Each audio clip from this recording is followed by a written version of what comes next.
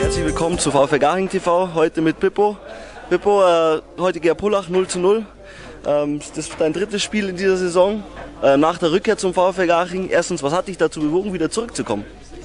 Ach ja, ich habe eine super Zeit in Garching gehabt. Äh, wahnsinnig viel Spaß gemacht, hat mir den Start in München so zum Studium auch erleichtert. Nette Leute hier kennengelernt und äh, guter Fußball wird ja auch gespielt. Und dann dachte ich mir, als ich nach dem Ausland wieder nach Hause kam, nach München, dann wollte ich wieder anfangen und da war Garching die erste Adresse.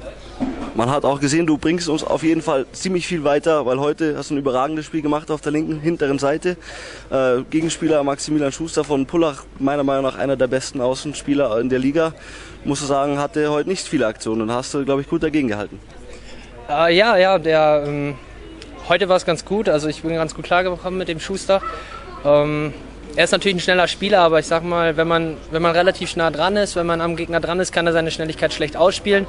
Und das habe ich versucht. Äh, der Daniel hat im Vorfeld zu mir gesagt, ich muss versuchen, ihn zu attackieren, ihn unter Druck zu setzen, äh, ihn nicht drehen zu lassen.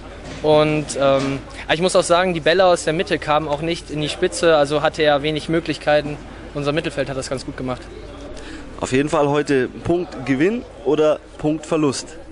Ah, nein, nee. Für mich ist es ganz klar, dass wir zwei Punkte verloren haben. Also ich wollte zu Hause gewinnen, auch wenn Pullach als Tabellenführer kommt.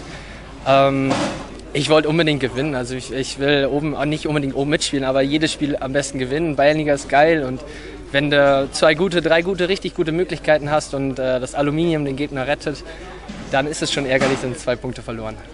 Okay, dann heute zwei Punkte verloren und dann am Mittwoch gewinnen wir drei? Ja klar, also dann zu gehen wir wieder alles so auswärts.